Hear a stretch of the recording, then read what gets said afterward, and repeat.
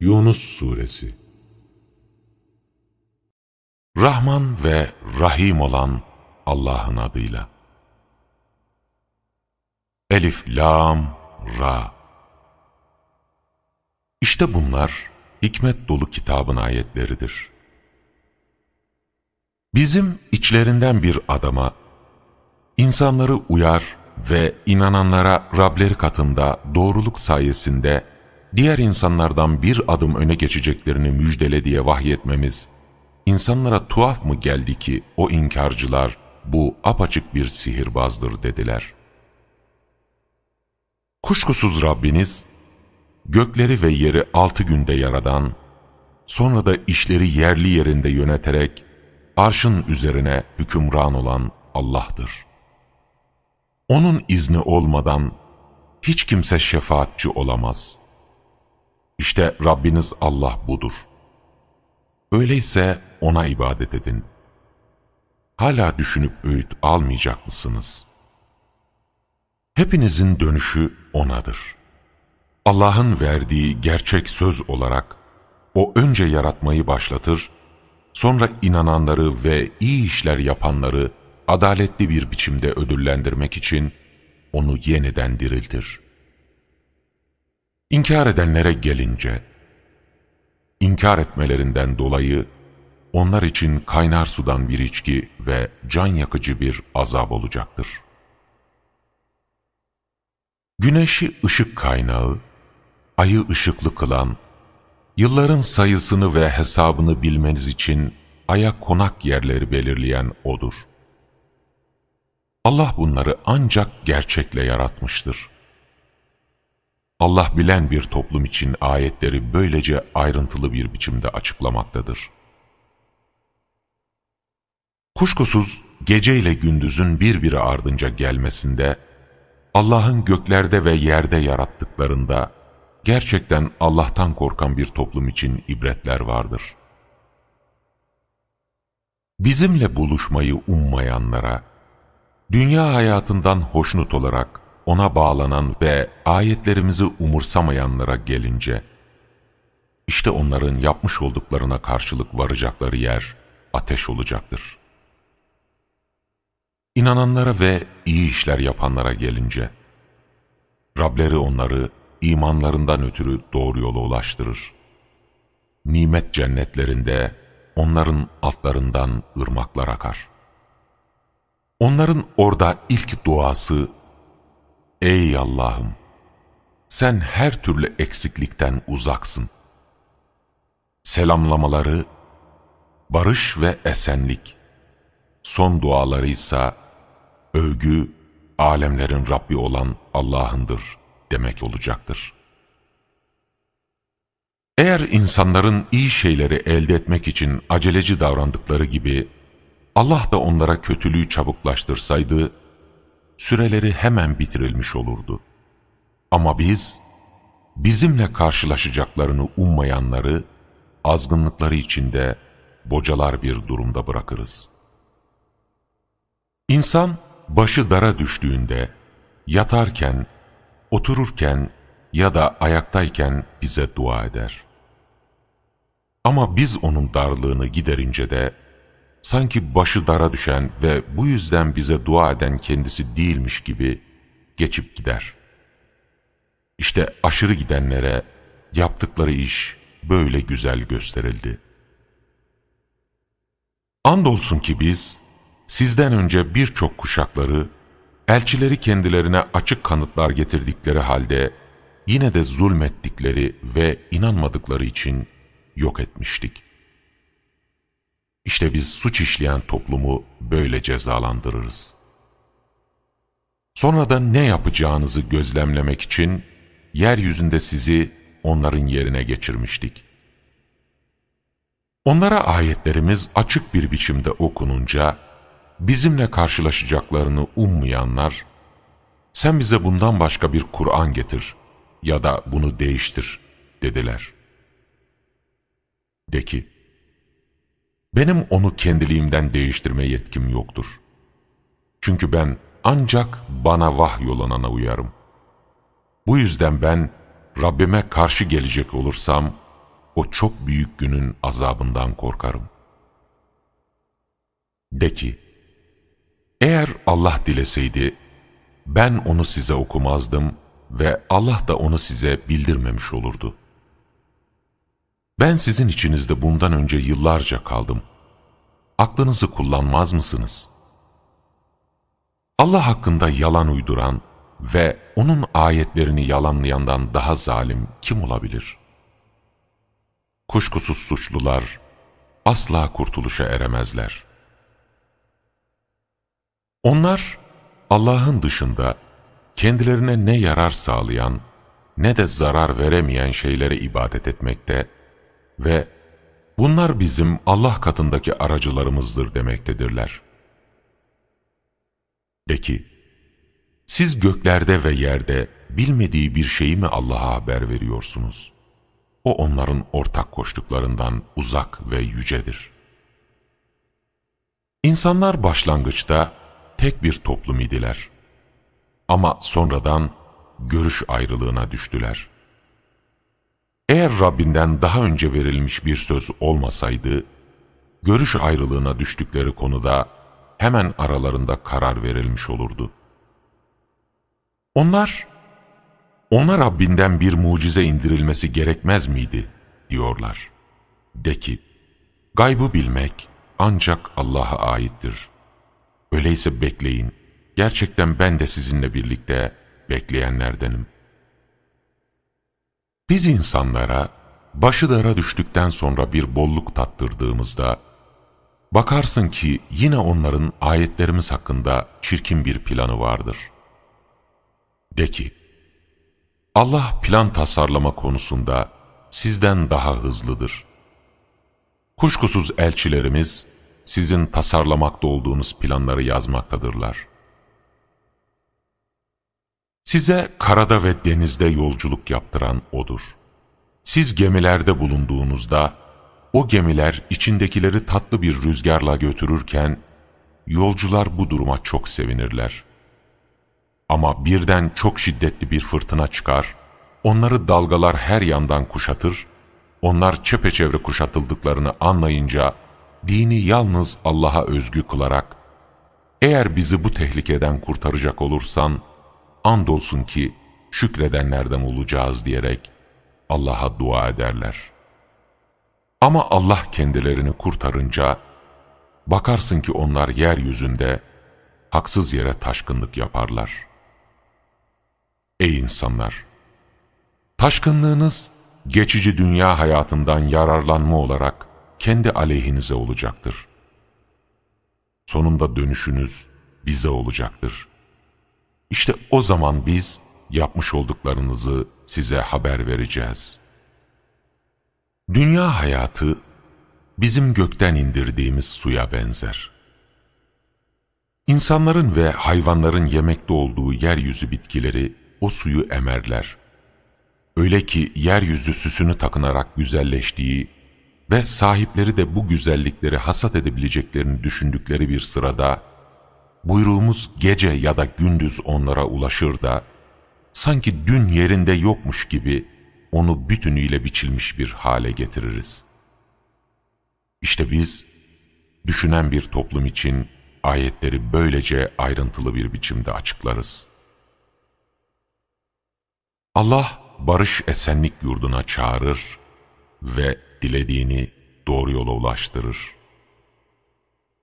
İyi işler yapanlara daha güzel karşılık ve bir de fazlası olacaktır. Onların yüzlerine ne kara bir leke ne de aşağılanma bulaşır. İşte onlar cennet ehlidir. Orada sürekli olarak kalacaklardır. Kötülük yapanlara gelince, Onların kötülükleri kadar bir karşılıkları olacak ama yüzlerini bir aşağılanma kaplayacaktır. Onları Allah'a karşı koruyacak hiçbir kimse olmayacaktır. Yüzleri sanki karanlık geceden bir parçaya bürünmüş gibi olacaktır. İşte onlar cehennem ehlidir. Orada sürekli olarak kalacaklardır. Onların hepsini bir araya toplayacağımız ve sonra da Allah'a ortak koşanlara, siz ve eş koştuğunuz putlarınız yerlerinize geçin diyerek, onları birbirinden ayıracağımız gün, eş koştukları putlar ortak koşanlara, siz bize ibadet etmiyordunuz. Allah bizimle sizin aranızda tanık olarak yeter. Çünkü biz gerçekten sizin bize ibadet ettiğinizden habersizdik diyeceklerdir. İşte orada herkes, geçmişte yaptığının hesabını verecektir. Onlar artık gerçek koruyucuları olan Allah'a döndürülmüşler ve uydurdukları şeylerde kendilerinden kaybolup gitmiştir. De ki, gökten ve yerden sizi besleyen, işitme ve görmeyi sağlayan, ölüden diriyi, diriden ölüyü çıkaran ve her işi düzenleyen kimdir? Onlar Allah'tır diyecekler. O zaman de ki, o halde Allah'a karşı gelmekten sakınmaz mısınız? İşte sizin gerçek Rabbiniz olan Allah budur. Artık haktan sonra sapıklıktan başka ne olabilir ki? Durum böyleyken nasıl da döndürülüyorsunuz?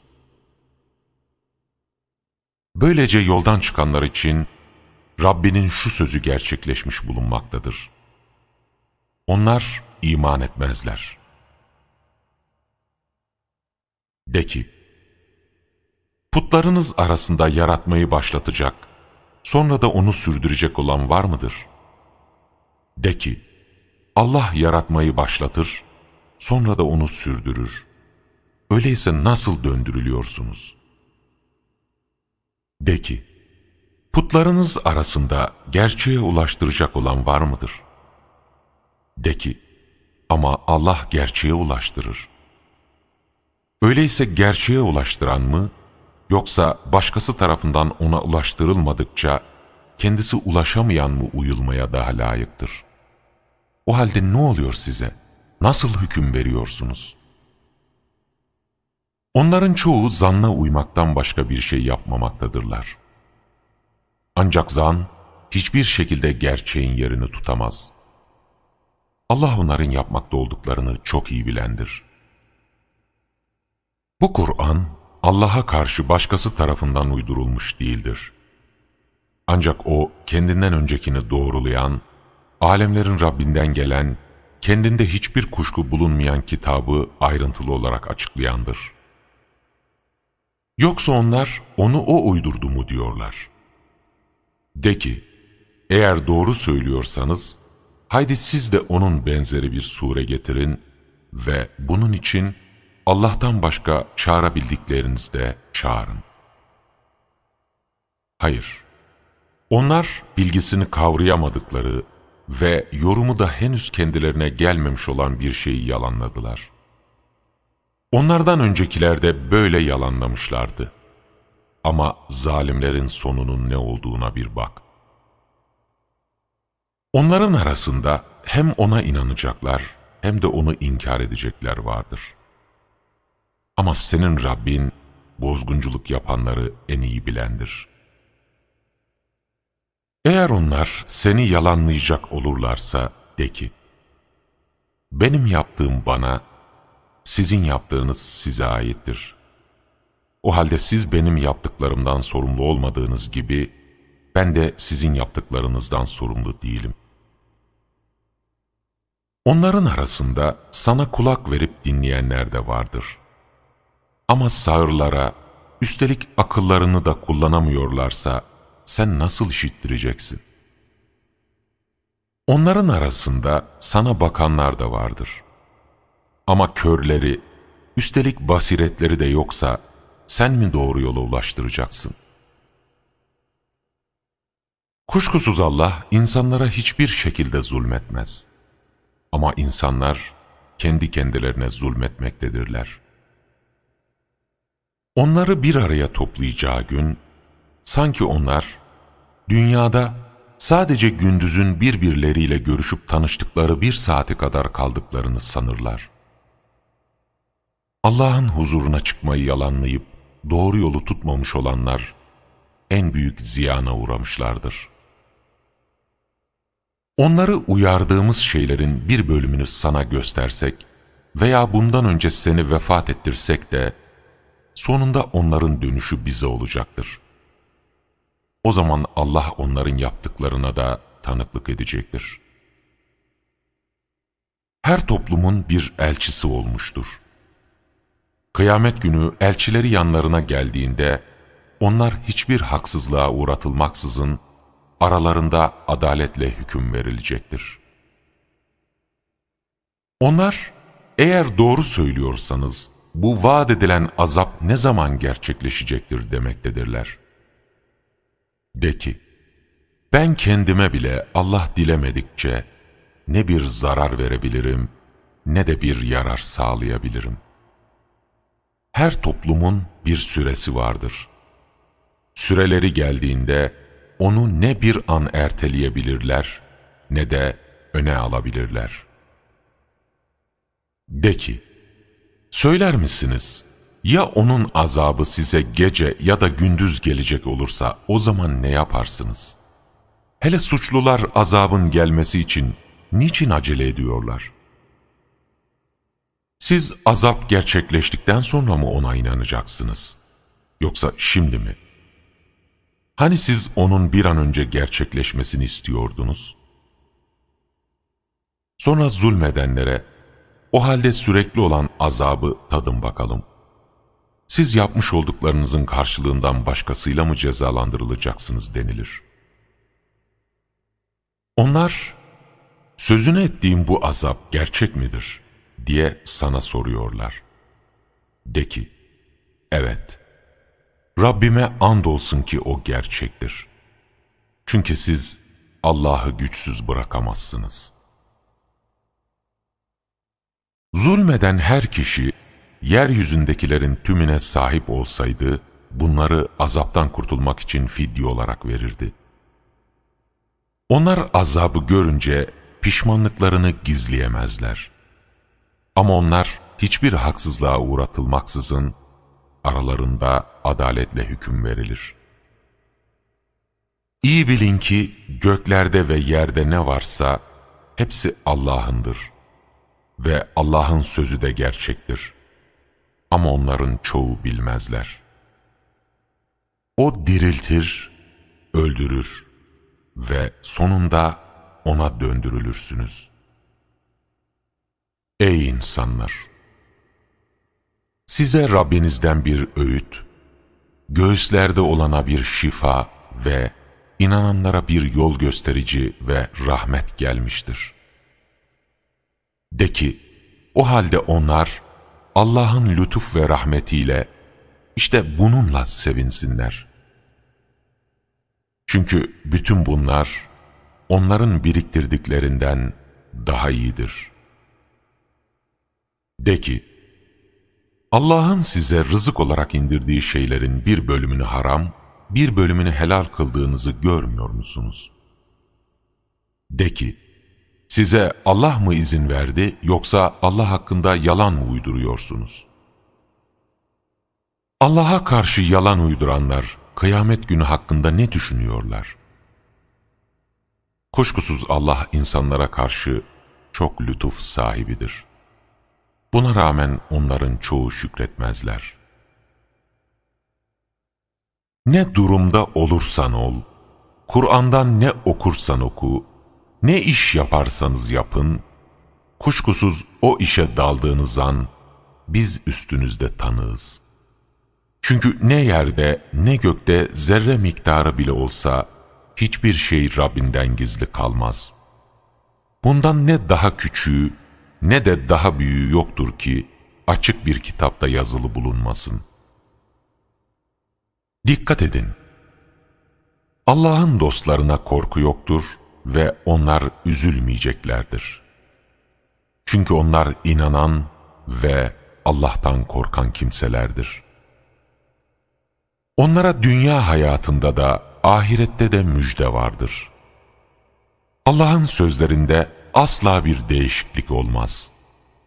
İşte bu çok büyük bir başarıdır. Onların sözleri seni üzmesin. Çünkü bütün güç Allah'ındır. O çok iyi işiten, çok iyi bilendir. Dikkat edin! Göklerde kim var, yerde kim varsa hepsi Allah'ındır. Allah'tan başkasına tapanlar, gerçekte ortak koştuklarına uymuyorlar. Sadece zanna uyuyorlar ve yalandan başka bir şey söylemiyorlar. O sizin için, içinde dinlenesiniz diye geceyi, aydınlatıcı olarak da gündüzü yaratandır. Kuşkusuz bunda işiten bir toplum için ibretler vardır. Onlar, Allah kendine bir çocuk edindi dediler. O böyle bir şeyden uzaktır. Şüphesiz o kendi kendine yeterlidir. Göklerde ve yerde ne varsa hepsi O'nundur. Bu konuda elinizde hiçbir kanıt da yoktur. Buna rağmen Allah hakkında bilmediğiniz şeyleri mi söylüyorsunuz? De ki, Allah'a karşı yalan uyduranlar asla kurtuluşa eremezler. Dünyada az bir yararlanma vardır. Sonra onların dönüşü bizedir. Sonra da biz, inkar ettiklerinden dolayı onlara çok şiddetli azabı tattıracağız. Onlara Nuh'un haberini oku. Bir zaman o kavmine şöyle demişti. Ey kavmim! Eğer benim aranızda bulunmam ve Allah'ın ayetlerini hatırlatmam size ağır geliyorsa, bilin ki ben sadece Allah'a güvenip dayanırım. Öyleyse siz de Allah'a ortak koştuklarınızla birlikte toplanıp, yapacağınız işi kararlaştırın da, işiniz başınıza dert olmasın. Sonra hükmünüzü bana uygulayın ve bana hiç fırsat da vermeyin. Eğer yüz çevirecek olursanız, ben zaten sizden bir karşılık istemiyorum. Benim ücretim ancak Allah'a aittir ve bana kendini Allah'a teslim edenlerden olmam söylenmiştir. Onlar onu yalanladılar. Bunun üzerine biz de onu ve gemide onunla birlikte bulunanları kurtarmış, ayetlerimizi yalanlayanları ise suda boğmuş ve böylece kurtardıklarımızı da onların yerine geçirmiştik. O uyarılanların sonunun nasıl olduğuna bir bak. Sonra onun ardından toplumlarına elçiler gönderdik. Onlara açık kanıtlar getirdiler. Ama onlar daha önce yalanladıklarına inanacak değillerdi. İşte biz haddi aşanların kalplerini böyle mühürleriz.'' Biz onlardan sonra da Musa'yı ve Harun'u mucizelerimizle birlikte Firavun'a ve ileri gelenlerine gönderdik. Ama onlar büyüklük tasladılar ve suç işleyen bir toplum oldular. Onlar katımızdan kendilerine gerçek gelince, kuşkusuz bu apaçık bir sihirdir dediler. Musa, size gerçek gelmişken böyle mi diyorsunuz? Bu bir sihir midir? Oysa sihirbazlar kurtuluşa eremezler, dedi. O zaman ileri gelenler dediler ki, Sen bizi atalarımızı üzerinde bulduğumuz yoldan çevirmek ve böylece kardeşinle birlikte ülkede egemenliği ele geçirmek için mi geldin? Bu yüzden biz ikinize de inanacak değiliz. Firavun ise bana bütün usta sihirbazları getirin dedi. Sihirbazlar gelince Musa onlara, atacaklarınızı atın dedi. Onlar atacaklarını atınca Musa dedi ki, sizin yaptıklarınız sihirdir. Allah ise onu boşa çıkaracaktır. Çünkü Allah bozguncuların işini başarıya ulaştırmaz. Ama Allah Suçlular istemese de gerçeği sözleriyle ortaya çıkaracaktır. Bununla birlikte Firavun ve çevresindeki ileri gelenlerin kendilerine işkence yapmalarından korktukları için Musa'ya kavminin içinde bir grup genç dışında hiç kimse inanmadı. Çünkü Firavun, yeryüzünde gerçekten çok güçlüydü ve aşırı gidenlerdendi. Musa, ey kavmim! Allah'a inanmış ve kendinizi O'na teslim etmişseniz, o halde O'na güvenip dayanın dedi. Bunun üzerine onlar dediler ki, biz yalnızca Allah'a güvenip dayandık. Ey Rabbimiz! Bize o zalim toplumun elinden işkence çektirme. Sevgi ve şefkatinle bizi o inkarcı toplumdan kurtar. Bunun üzerine biz Musa'ya ve kardeşine siz ikiniz Mısır'da kavminiz için bir takım evler hazırlayın. Evlerinizi karşı karşıya gelecek şekilde kurun ve namaz kılın. İnananları müjdele diye vahyetmiştik. Musa dedi, Ey Rabbimiz! Kuşkusuz sen Firavun'a ve adamlarına şu dünya hayatında göz kamaştırıcı zenginlik ve nice mallar verdin. Ey Rabbimiz! Senin yolundan saptırsınlar diye mi? Ey Rabbimiz! Onların mallarını yok et ve kalplerini sıkıştır. Çünkü onlar can yakıcı azabı görünceye kadar inanmayacaklardır. Allah dedi, İkinizin duası da kabul olundu. Öyleyse dosdoğru olun ve sakın bilmeyenlerin yoluna uymayın. Biz İsrailoğullarını denizden geçirdik. Bunun üzerine Firavun ve ordusu onlara zulmetmek ve saldırmak için onların peşine düştü. Nihayet boğulmak üzereyken Firavun, İsrail oğullarının inandığından başka tanrı olmadığına inandım. Artık ben de ona teslim olanlardanım dedi. O zaman Allah ona, şimdi mi inanıyorsun? Oysa daha önce isyan etmiş bozgunculardan olmuştun. Ama biz bugün ardından gelenlere ibret olması için senin sadece bedenini kurtarıp bir tepeye atacağız. Çünkü insanların çoğu ayetlerimizden habersizdirler. Andolsun ki biz İsrail oğullarını iyi bir yere yerleştirmiş ve onlara güzel rızıklar vermiştik. Kendilerine ilim gelinceye kadar birbirleriyle görüş ayrılığına düşmediler. Ama Rabbin kıyamet günü görüş ayrılığına düştükleri konularda aralarında hüküm verecektir. Eğer sana indirdiğimizden kuşku duyuyorsan, senden önce kitabı okuyanlara sor. Andolsun ki sana Rabbinden gerçek gelmiştir. Öyleyse sakın kuşkuya düşenlerden ve Allah'ın ayetlerini yalanlayanlardan olma. Yoksa kaybedenlerden olursun.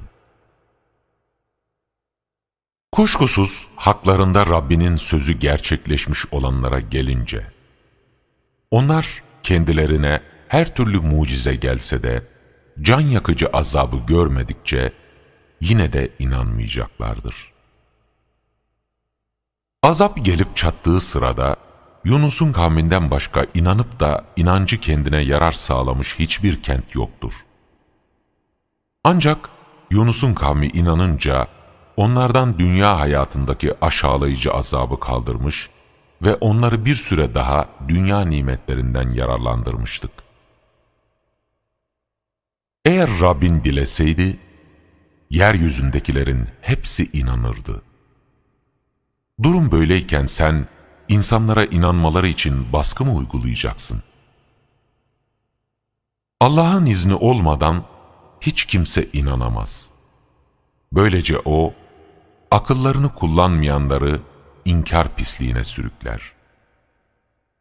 De ki, göklerde ve yerde olanlara bir bakın. Ancak inanmayacak bir topluma mucizeler ve uyarılar hiçbir yarar sağlamaz. O halde onlar, kendilerinden önce gelip geçenlerin sıkıntılı günlerinin, kendilerinin başlarına gelmesini mi bekliyorlar? De ki, öyleyse bekleyin, ben de sizinle birlikte bekleyenlerdenim. Biz elçilerimizi ve inananları kurtarırız. İşte böyle. Çünkü inananları kurtarmamız üzerimize gerçekten bir borçtur. De ki ey insanlar! Benim dinim konusunda kuşkudaysanız, bilin ki ben Allah dışında taptıklarınıza tapmam. Ancak ben sizin canınızı alacak olan Allah'a taparım. Çünkü bana inananlardan olmam emredilmiştir. Ve insanoğluna da şöyle seslenilmiştir. Yüzünü batıl olan bütün inançları terk ederek gerçek dine çevir ve asla Allah'a ortak koşanlardan olma.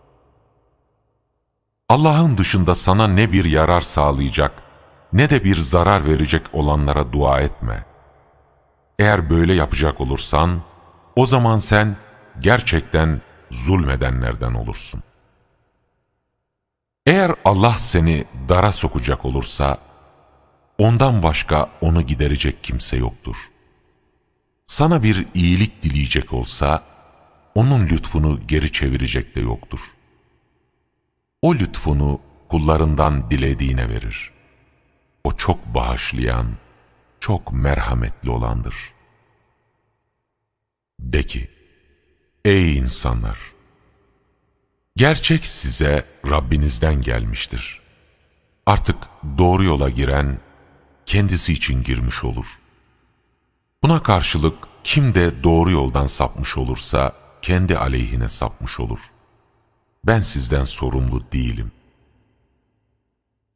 Sana gelince, sen sana vahyolunana uy ve Allah hükmünü verinceye kadar sabret. Çünkü O, hüküm verenlerin en iyisidir.''